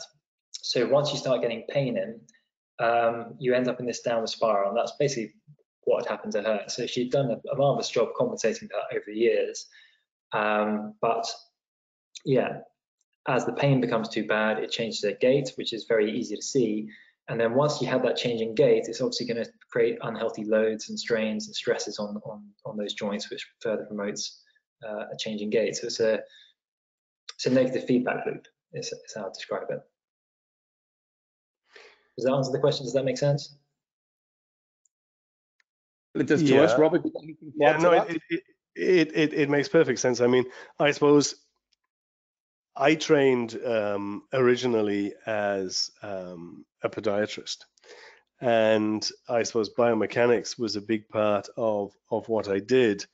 And what I what I learned back then and what I what I believe now are are completely different. I would basically have said in days gone by, um, oh, the, the the problem with the gait comes first and and and the pain comes after. Um, I think what I've learned through clinical practice now is there always has to be something to cause a change, whether that change is um, due to an injury or due to a, a biomechanical change, that will always create one thing. And the thing that that will create is discomfort, pain. And I think the, the, the very important thing there, and Jake said it, is pain interferes with proprioception. Um, our brain knows through proprioceptive mechanisms where we are in in relation to, to, to time and space. So if there's a change in the ground, um, our, our proprioceptive mechanisms pick that up. When our gait changes, I would now argue that it changes as a result of um, basically a change in that proprioceptive response, and that that will always be brought about by something. You're not going to have a patient who will um, wake up in the morning and suddenly um, they have a bad gait. They will have a bad gait because something has changed. Um, I hope that answers the question a bit. This is something that you could talk about for, for pretty much ever and ever and ever. Um, it, it's kind of like the, the chicken and the egg, but I would go back to say really that um, pain interferes with proprioception, proprioception interferes with gait. There has to be some sort of deficit going on, which causes the whole event in the first place. Yeah, and, and you'll see patients. So if you if you look, um, if you go to an airport, which obviously you can't do at the moment, or you can't go anywhere and see anybody, but normally if you go to a place where you can people watch, if you start studying gait, you'll see that gait changes in gait are incredibly common. So um, I think the stats are 10% of people over the age of 60 have a change in gait, and that increases to something like half of 80 year olds, um, or 60% of 80 year olds. So gait is so, so very complicated. And it's like I said in the video, you need a good cardiovascular system, strength, balance, endurance, posture, all that other stuff. So you'll see a bunch of people who don't have pain, but they do have a change in gait, and it's because somewhere those systems are breaking down. Either the sensory systems aren't working as well as they used to, or the motor systems controlling movement, balance, posture aren't doing so well. So you could see a case like that where she doesn't have chronic pain, but she does have, you could see changes in gait coming. Uh, and then you're waiting for a trigger. So she might get along with that for a long time, but we also know that changes in gait are associated with falls or a strong risk factor for falls. So if you can learn to assess gait, you know they're in that ballpark of danger, and then you're just waiting for a trigger. So it might be they trip over the, you know, the step, they hurt, they land badly, and then suddenly all the pain kicks off. Um, but yeah, there's a chicken and egg a lot of time. But if you get them before that point, you can actually treat them so that the trigger may not necessarily trigger. Yeah, absolutely, absolutely, and I think that's that's the kind of holistic approach, isn't it? So it, yeah. in my clinic, if you come in and you come in with, let's say, shoulder pain, but I see there's a change in gait, I'm going to treat both, um, not not just hit that shoulder. Exactly. Brilliant. Thanks for thanks for that, guys. Uh, there was a there's a question. I think it's in no, it's in Spanish. Uh, I'd like to thank our our Spanish customers for actually coming on the call uh, and also bearing with us, seeing as though English is their second language. Uh, he's just requesting a copy of this presentation and the video, which we will uh, send on to everybody. Uh, we'll try and cut out the slight glitches in the editing. Uh, there's another question here. Um, Jake, thanks for all the info. What do we as DCs need to have in place from an insurance point of view to be able to use the laser in practice? Uh, as far as I know, nothing at all. Um, so there's, uh, and, and, Simon, you, you maybe know better than me, but I haven't found any research um, reporting side effects at all. Um, and i am looking at, currently I'm doing a master's and, and, the current study I'm looking at is um, low level laser and carpal tunnel syndrome. Um, and I've looked at all kinds of systematic reviews, including um, uh, thermal, you know, infrared lasers, um, not just low level. Um, and I haven't found any reporting side effects at all. So it's a bit like, you know, taping and stuff like that. It just comes underneath your your normal uh, normal insurance. Simon, do you know, know any more details to that? I haven't I haven't uh, come across anything at all. Yeah, I'll put my fourth pen forward, and I'm sure Rob would like to come straight in after about his experiences with a company called Balens. Um, yeah, I mean, since our first US FDA clearance in 2002 for neck and shoulder pain, you know, that's what 18 years we've not had one reported side effect or adverse reaction. Now, every European country is different, but in the UK, um, it doesn't fall under CQC regulations because of the classification. It's a class 2A laser. Um, so there's no problems from that perspective uh, unlike maybe class four lasers, which maybe some of you are aware of. And they're also dragged into the umbrella, some of them as low level laser, uh, which is what we're doing a lot of with our education, not just in the UK, but around Europe, the Middle East. It's looking at the differences between what people class as low level laser, because we have so many people that say we've got one. And then when you look at it, it's actually a class four laser, which is sort of infrared and it's it's I'm not saying it doesn't work, but it's just a different mechanism of action. It's a different delivery system. You're looking at heating and slightly less energy, whereas with the class 2A laser that we have, we've patented the line coherent beam, uh, and we found that was the most effective way to deliver photonic energy into the mitochondria of the cell uh, and to optimize that delivery. So from a, an insurance perspective, I think you could include it in your standard insurance you have in your practice. Um, most insurance companies would uh, take that on board. Rob, I know you deal with Balens a lot. Yeah, I, I think um, unfortunately we live in a very litigative society. Um, and I think it's really worth checking out the insurance that you have just to make sure that it covers uh, non-thermal low-level laser devices. Um, if it does, great. If it doesn't, then we sort that out uh, with the education and training uh, because we, we, have tied up with one of the largest insurance companies in Europe to provide cover uh, for this. So um, I'm not a chiropractor. I only know my my own insurance, but I have dealt with other people that are who basically would take a add-on um, bit to their policy to cover eventualities of litigation um, around technology like this. But um, to try and litigate around this would be pretty much impossible because there is no uh, recording of adverse events. And bearing in mind that these things are on the go since uh, 1964, 65. Yeah, initially for low-level lasers. I mean, since our um, since Dr. Rob Silverman came across and did a seminar on the 30th of November down in London, I know some of you on the call, uh, you know, um, attended that. Uh, there's never been any issues with any of the EVRLs or the PL touches, and I think there's been maybe around 15 16 of you since then that have come on board with either the the EVRL, the PL Touch, or the um, or the Accelerate laser. So uh, I don't think there will be a problem. I'm sure if there was, Jake and our other customers would have told us. But uh, you know, if it's out of discipline, for example, we had an acupuncturist um, who was into the the neuro system. She wants to purchase one. Now, anybody who's out of discipline, Balen's coming quite handy because obviously through our training we certify everybody to to show that they are they've passed the training and you know they are good to go and we can provide that certificate to the insurance company if they need it so Uh, I don't think you'll have a problem, but please keep that in mind. Right, there's been a couple which say obviously we can't see the slide, so we, we addressed that and sorted it. Um, how does laser fit into headache migraine management? Do you want to start, Jake, and then Rob can come in? Yeah, so um, migraines are super complicated. Um, the easiest way to think about headaches is it's all on one long spectrum. So you've got occasional tension type headache, say on like the far left of the spectrum, and you've got your chronic daily headache on the far right. Um, the laser, um, so some people are obviously worried that using a laser on your brain is dangerous, again, because it's such low energy and it's not heated, it's perfectly fine. Uh, the way I use it as a chiropractor, I will basically look at uh, nerve sensitivity for any of the nerves that are going up to the head. So anything above C3, so the, uh, you know, the vertebra C3, any pain from C3 or above from any tissue goes into the trigeminal system.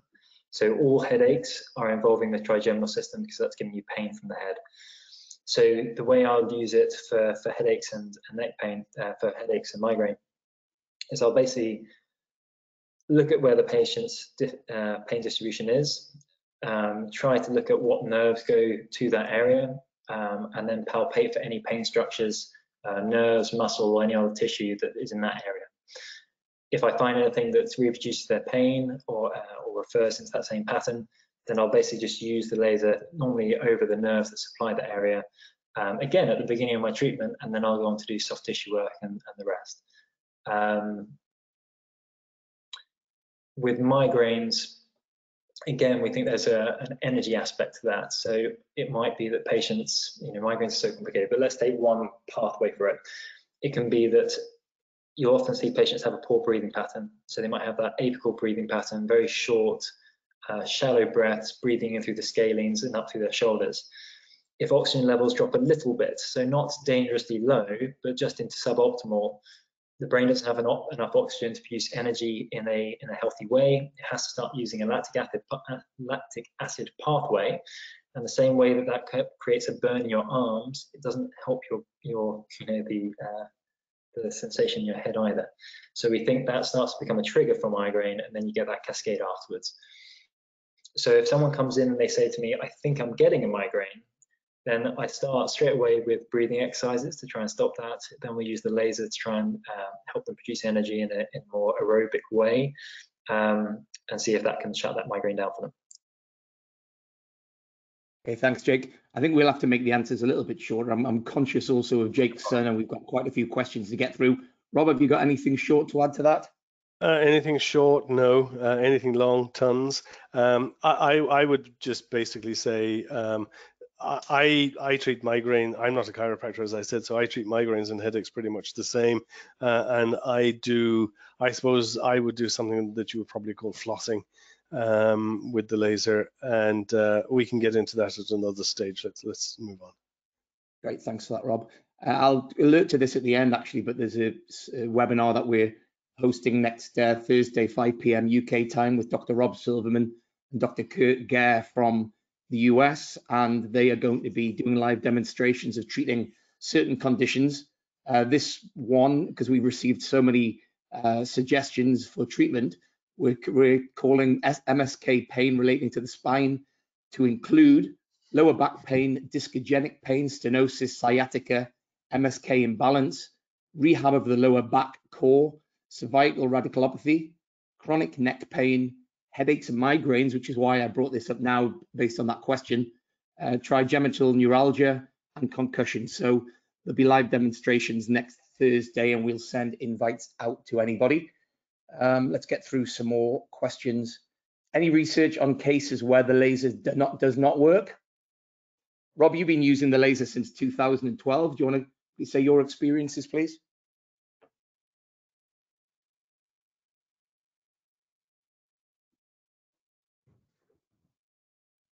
Uh, Rob doesn't appear to be there. Are you there, Jake?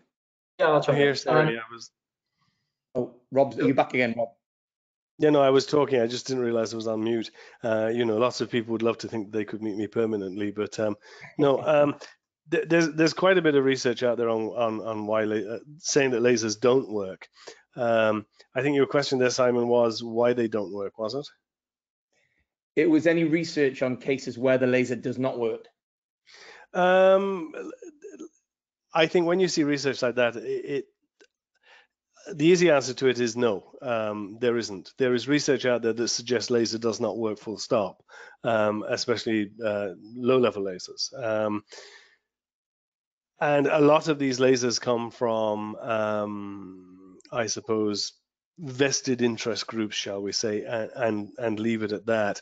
The body of evidence out there is huge in support of the benefits of photobiomodulation in relation to non-thermal low-level laser. Jake. I think what I'm finding challenging with looking at laser research is that um, the, you're looking at different tools. So low-level laser therapy is actually quite a broad bracket. It's a bit like saying manual therapy.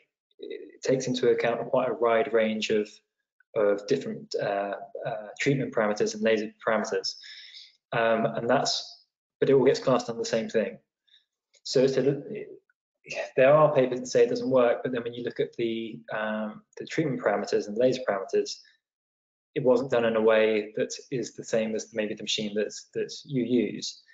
So when you're looking at research, yeah, there's you know I've definitely seen research that says it's it, often it doesn't say that it doesn't work, but maybe they do a comparison, say like an RCT, so they look at a comparison. So let's say because it's at the top of my head, let's look at um, carpal tunnel and say carpal tunnel treating with an orthotic like a wrist uh, splint versus uh, uh, with a laser and they'll generally say both are effective, um, but maybe the laser, the orthotic was more effective.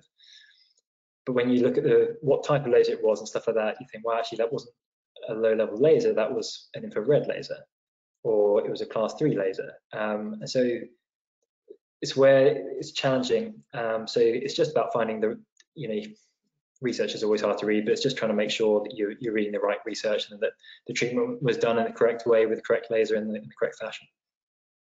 Yeah, I think to add to that, I think this is what we're going to do, you know, all over Europe and the in the Middle East. And obviously, from Erchonia's perspective, they have over 16,000 um, clinics in North America that actually have these range of lasers, and a high percent percentage of that is chiropractic.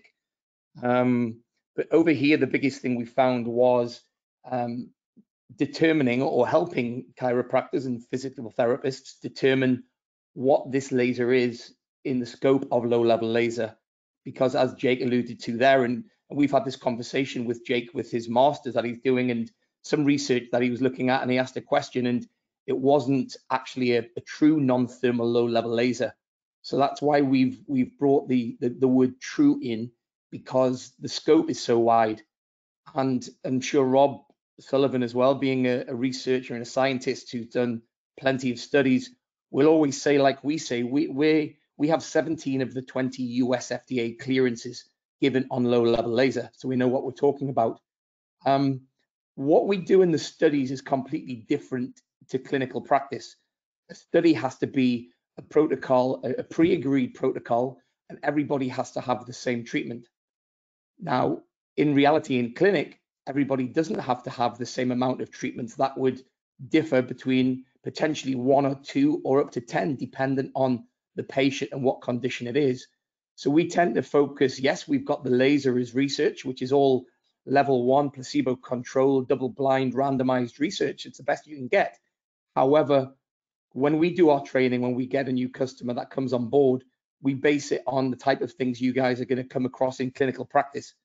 Because the research, by that, yes, it'll give you the reassurance and give your patients the reassurance, but it's how you actually deal in in in in, in your own practice. And we got a few customers of ours on the call here, and what we always do is we set up a WhatsApp group um, after each training event, and we hold your hands quite a lot through the first couple of months because that's the steepest learning curve. We obviously want you to optimize what you can get out of your purchase, not just think, you know, I'm pigeonholed into using it for one or two things. You know, there's so many things you can treat, and we're just scraping the the, the barrel. And and again, that's also going to be a great question for next week's webinar with Rob Silverman and Kurt Gare. Um, so yeah, I hope we, we, we've answered that to you and we'll carry on with the education. So um, chiropractors, not just in the UK, but you know all around Europe. You know, we're the main sponsor for European Chiropractic and World Chiropractic, and obviously we've got very good links in the UK. But we'll carry on delivering this education to try to, you know, um, to to try to fix the confusion that's always around there. Right, next question. Can we get a list of the correct frequencies for certain pain disorders? I think there is an Erchonia book that lists this. Um, the answer to that is we. It, it's not our book. There's a chiropractor called Dr. Jerome Rerucha, who's um, on the east coast of the US, who's been using this specific low-level laser since 2002, and he wrote a book on it.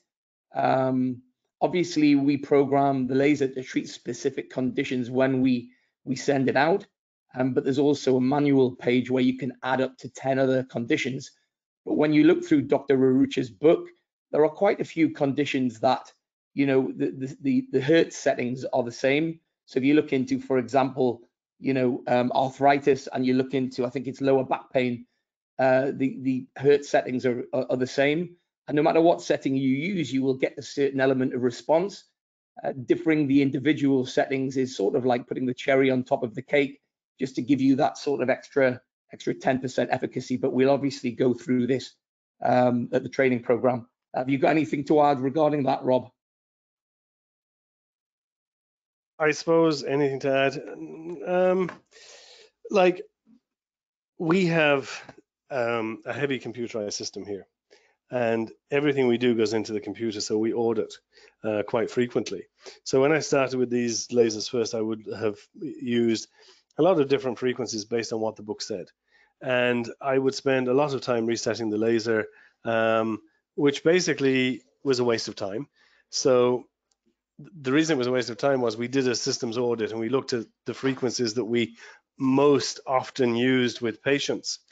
Uh, uh, so we came up with this thing uh, that Jake alluded to there, which was the dermatome setting and the universal setting. And pretty much I use those settings for everything that comes through the door, with the exception of brain, we have different frequencies for brain. Um, the only time I will vary from that, and I'd be very different to what the American guys are saying, the only time I vary from that is if we're hitting walls and hitting blanks and it doesn't work. Then if we do, we will use the frequencies that are regarded as specific for um, that particular part of the body, that particular system of the body. But other than that, what I find here, um, and like we get through 30, last year we got through 38 and a half thousand patients across um, 32 settings and, and um, three private hospitals. And the results we get are pretty much the same with those frequencies. So I think sometimes we can tie ourselves up a lot by uh, making things overly complicated. I like to kind of keep things as simple as possible. And if you're treating a patient and you're not getting the response that you want in the time that you expect, then you know there is me, there is Jake, there is a wealth of experience out there who can help you to tweak what you're doing. But I think initially, maybe for the first year or so, um, don't don't make don't make it too complicated. Yeah, I agree completely, Rob. The, the, the like I said before, I think I've answered a lot of the questions that are coming in there. You know, we don't want to overcomplicate it with individual settings. Uh, we send the laser out with a specific core of settings, which are, um, you know, will treat 99% of things. Now that cherry on the cake I keep talking to you about, once you become more advanced and you become more used to it, then obviously we can get more involved and, and, and tinker with you a little bit with, with different uh, hertz settings. But uh, for now, I think it's important to keep it as simple as possible and uh, just you know grade the education and the training and, and as time goes on we'll we'll get more and more into that but that is covered with the um, the training. Uh, there's a few more questions that are the same regarding headaches migraines um, which we've already answered also frequencies. Um, Jake thanks for all the info. Uh, there's another one on insurance which we've answered. Uh, migraine and headache which we've answered. Um, Max was asking about brachial neuritis, rotator cuff tendonitis, tennis elbow. Um, you'd probably what what setting would you use for the likes of that, Rob? Just to, to, answer that. like like I said when I was with Max, dermatome first and universal after that. Um, and like we treat those injuries all the time. We get excellent responses on on on dermatome uh, and universal. Like the the one thing that I would say to this is when we do the training with you, there is a protocol, and that protocol is very is quite simple. It's it's dermatome specific. Um, it's uh, movement driven and it's it's area specific. So what that basically means is when I treat a patient, first of all, like Jake said there, when I was teaching Jake, I said to Jake, you know, sometimes the patient needs to feel something, stick it on the skin of the dermatome, wait for a beep, move it, move it. The next time it beeps, each time it beeps, move it, do that on the dermatome for, um, I would say up to up to three minutes, but uh, my experience doesn't hold that out. It's far less if you want to. And while you're doing that, you just basically try and get the patient to move the affected part of the body if possible. So if it's a rotatory cuff, they're going to move that, or whatever it is, they're going they're going to move that. And then what we basically do, we do that while we're on the dermatome. And then what I would suggest is then, or what I teach you to do then is you go to the specific area of pain. So I don't know if it's if it's a tendinopathy on the elbow, tennis elbow, then basically you're going to follow the brachial nerve down, and then you're going to go to the the pain trigger points in the area, and you're going to go to the points around that to cause desensitization. So there is a very set protocol. Um, it works, as Simon says, 90, 95% of the time. When it doesn't, that's why we're here. Unfortunately, with a company like Erchonia, we're the biggest pain in the bum you ever got because when you buy something from us, um, that's when the relationship really starts because we're there to support you all the way through. Um, we're there to help you get the best from it, and we're there to learn from what you are doing. And together, we all learn uh, from mistakes that we make, and we also learn from the mistakes that we don't make. And I, I think really, um, that's all I could say on frequencies and what we use or why we use it. Okay, thanks for that, Rob. Um, Jake, do you have anything or should we just move on to the next one? Uh, no, no, I think Rob did a good description there. I think um, I think I said it to you before, but um, it's great having access to, you know, so we have a little WhatsApp group um, between us and, you know, every time I have a question, I just send one over to Rob or to other people just to say, you know, is this correct? How do I do it? You know, normally get a response within a few minutes, so it's, it's very easy. Brilliant. Yeah, we do tend to um, to answer WhatsApps at all time of night. As I think Max was uh, WhatsApping me about 10 o'clock last night. So uh, yeah, we'll always be be there. And training is just important as the actual laser, especially if you're going to optimize the performance of it. But within a couple of months, um, as I think everybody has actually bought one over the last three four months, they provided us with a testimonial saying they don't know how they got by without it. So that's always nice to hear. Um, right, it sounds more likely that a client's assumption stroke expectation could be more of an issue rather than the laser treatment. Oh, I, I love these questions. Um, we're, we're, actually back here to a, a, a, pet of mine, patient expectations um, and practitioner expectations in anything we do, whether it's a laser, whether it's a podiatry treatment, whether it's a dental treatment, whether it's um, anything, um, our patients have expectations. And, and, I think really, I will not take a patient into any form of therapy, uh, any form of medical treatment, any surgery, unless their expectations are realistic and, you know, we can meet those um, expectations or go away some ways to meeting those expectations. The other thing that we have to look at at two is we're talking to you about these devices, we're showing you what these devices do. From that, you have expectations. Um, we have to manage our own expectations as well. Uh, but I think if you have one of these devices, then issues like that don't arise. I think most of us have very strong intake consultation procedures uh, and expectation management. So when you put a device into your clinic like this, that becomes part of your clinical expectation management process. Um, I think that's what you mean. Hope so. Hope that answers it for you. Jake, do you have anything on that? Yeah, so uh, it, I think I said it in the in the video there, but it's a bit like ultrasounds. You can't feel anything, uh, and for some patients, that's important. They they want to feel like you're doing something. Um, you know, same with you know some patients with manipulation. You could be the best manipulator in the world, but they want it like really hard, heavy crack. They don't want a lovely, gentle thing. They want they want they have the expectation of what it should or shouldn't be. Um, and that, that can be challenging with laser because they don't feel anything. Um, so you just have to really stress that's perfectly normal. This is and just explain simply what the what the, the rationale of why you're using it. Some patients absolutely love it. Um, and yeah, so that's important. And yeah, you're right, for your own expectations of, of results, like I said it's not a cure-all. So it's not like you can just shine on anything and all symptoms just immediately disappear. You're providing the system with more energy so it can heal at its optimum rate. So if that's a 70-year-old patient, they're not going to heal at the same speed that a 20-year-old would. Um, so yeah, it's, it's, it's an adjunct to everything you do, and it sets you up for getting the best. Uh, I think it sets you up for getting the best response that you're likely to get with that patient. No, I, I agree with that, Jake. And, and again, as, as we say constantly in our, our US chiropractors say that it's not replacing what you already do. It's um, giving you an adjunct therapy um, to actually increase the efficacy of what you do. Um, but also, as Jake alluded to before, um, with some patients who can't be touched or some complex cases, then you know you can hold the laser onto the skin. You can hold it two, three, four, five inches away from the skin to to scan it down a specific area.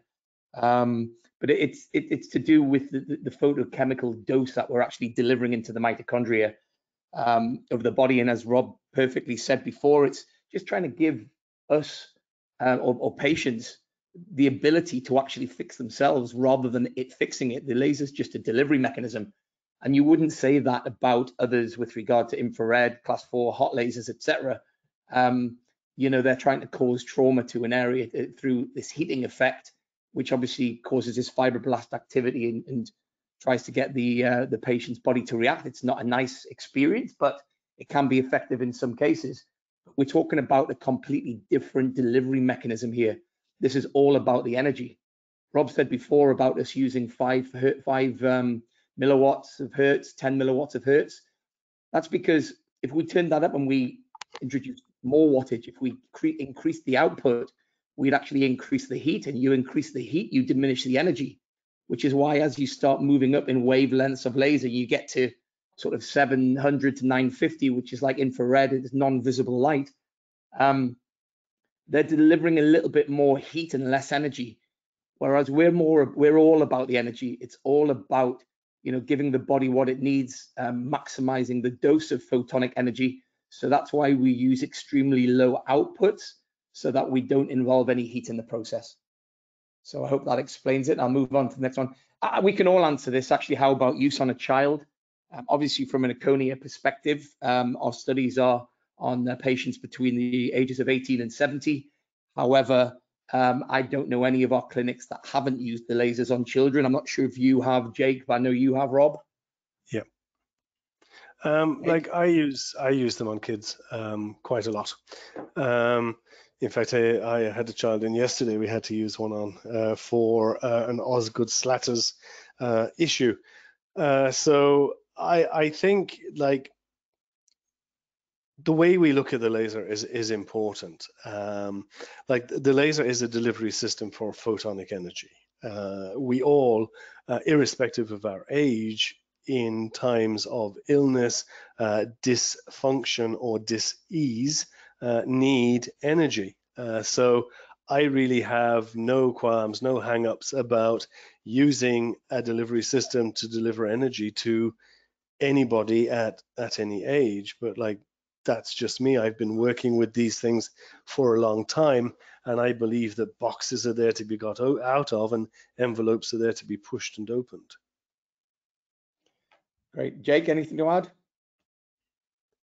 Uh, yeah, I, I, haven't used it on kids, but um, I don't do pediatrics, and I you know don't have them in the clinic. Um, but yeah, no, I wouldn't have any. I wouldn't have any worries about it. Yeah, I will just quickly tell you because we've only got one more question to go, and we'll wrap things up. Uh, in the Czech Republic, our uh, distribution partner across there is um, has applied for EU funding, and we've got to the final stages of this for providing our lasers into, um, into up to 2,000 schools in Czech Republic and that's going to be used to look at things like um, ADHD, ADD, um, autism, uh, children with uh, speech and language problems, learning difficulties, uh, concentration, uh, stress, um, different sorts of sort of mental health type issues. So yeah, it's it's safe and we we should have actually got news by now, um, but obviously with the COVID-19 situation, a lot of places are shut down. So it's been put on hold until the to the end of the year. But um, we're sort of 95% certain that we'll end up um, we'll end up providing that. So the fact, obviously, that the child um, receives no pain is a benefit. Uh, if you've got children who uh, obviously you can occupy them and, and, while we're actually lasering them at the same time, or the parents can. Uh, so as long as we're hitting the spot and we're delivering the energy, as Jake and Rob said, it, it doesn't really matter when it comes to age. Um, so yeah, that's not an issue. Um, let's have a look. I'm always more interested in the clients. I cannot help rather than the other way around. My research question is therefore not intended as a criticism. No, no, it, it wasn't taken as that at all. Um, the research has got to be there. We've formed our organization on the research, uh, but we always like to point out when uh, when people look at the research that when we do the training for the lasers, whether it's these lasers, whether it's the ones for uh, fat loss, uh, obesity, you know, onychomycosis, uh, skin condition, psoriasis, rosacea, etc., we always point out that it's different in clinical practice. So everybody seems to want to know a protocol. We have a standard protocol, but we try to treat patients on a bespoke basis. So even with the lasers for obese people, you know, we talk about the study was 12 treatments. Some might not need 12 treatments, depends on their metabolism, it depends on their lymphatic flow and, and, and you know, transporting the fat out of the body. Um, so, you know, it, it's just pointing out that the research is great. It's what we've formed our name on because of the quality of the research. But in reality, in clinic, we've just got to be a little bit more open-minded and we look at, as you quite rightly said with your question, uh, with the patients as an individual and we tailor a program specifically for them. So I hope that has answered your question. One last one, guys, before we go. Uh, and your son is doing very well, Jake, to, to remain asleep during this. Um, can you mention the name of that research project again? Would love to look further into it. I'm not quite sure what research project um, this gentleman is asking about. Um, we will be sending uh, an email out to everybody with a recording of the video. It may take a little bit longer because I would like to edit out the glitches at the start. Uh, so when you receive that email, if you could potentially reply to it, um, it comes from uh, inquiries at erchoniaeurope.co.uk, uh, sorry, .com. So please don't think it's junk. It's actually uh, showing a, a, recording of this video, and it gives you an opportunity to um, to uh, to email back and ask any questions. Oh, sorry, the, the, the gentleman, yeah, the Czech Republic one. It, was uh, I mean, Rob worked very closely with the partner in the Czech Republic and put across and helped him produce the business plan based on the research. Um, Rob, do you want to go into what type of thing you actually looked at when you provided Radco with the, the necessary information to, to propose it to the schools? I suppose there isn't um, so much to to go into in terms of um, everything that we do really is research driven and and evidence based and i think what we had to do with that particular project was we had to look at the research first of all.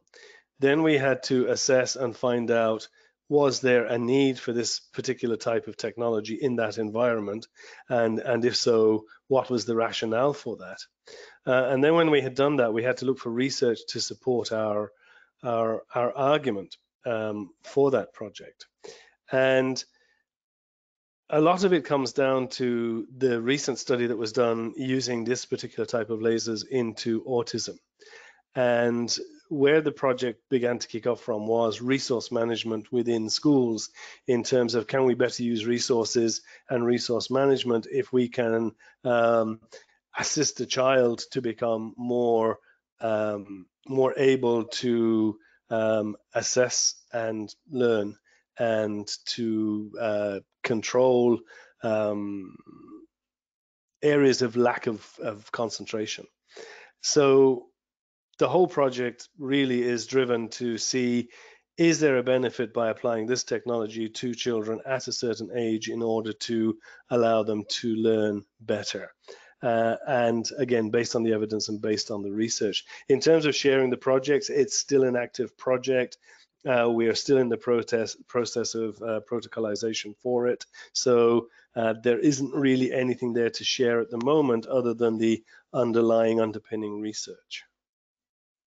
Actually, on that, um, Joe, uh, we have uh, published articles on um, autism and also um, on Parkinson's, uh, which was done quite a long time ago. Now, the way the FDA works in the US, it's different to Europe, even though Europe is changing with the MDR regulations coming in, uh, which have been delayed a year actually because of the COVID-19 situation. Um, the Americans uh, in the US, you can't promote anything unless you've got a study to back up what you're saying, which has always been a little bit different to Europe. We obviously abide by that, but we can promote something based on the experiences of our customers and of our doctors. So, for example, if Jake or, or Rob or Max or any of our, our guys say, look, you know, we've had an experience treating this patient for that disorder, we can say, well, as Erchonia, we can't promote that because we haven't actually got the studies uh, to, to say that, but um, but we can promote them saying it. So it's just like it's a little bit of a different makeup across here. So I'm more than happy to share the autism and the um, and the Parkinson's article. When it comes to the work we're doing on Alzheimer's at the minute, as you can imagine, these research projects have to be over a specific period of time. It's not something that you can uh, do and, and, and research for six months. So it's a good two years plus project. And like a lot of it, you know, we're not saying we can cure Alzheimer's, we're not saying we can cure Parkinson's or autism, but what we're saying is by giving the, the body the power to actually respond better to these conditions, uh, the patient can potentially have a better quality of life.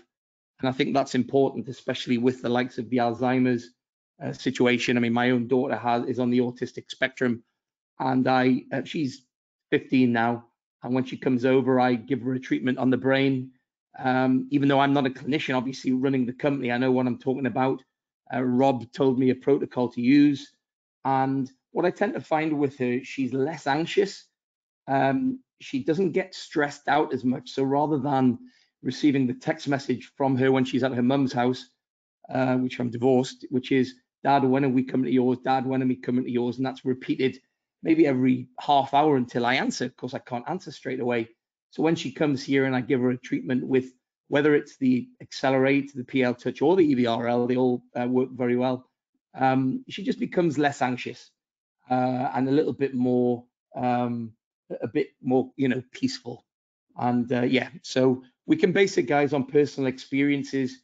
Uh, Jake is obviously there to give his um, responses. Uh, Rob is. Um, Dr. Trevor Berry, Dr. Rob Silverman, Dr. Jerome Rerucha, Dr. Dan Murphy, um, Dr. Kirk Gair, all of our uh, really experienced guys across in the US. Um, you know, they can all help if anybody needs any information as well. So uh, on that note, uh, we've kept you guys long enough. We really appreciate you staying on for this long. Uh, and I really appreciate it, obviously, from uh, from Jake and also from Rob. So thanks to both of you. Uh, thank you to everybody else for attending.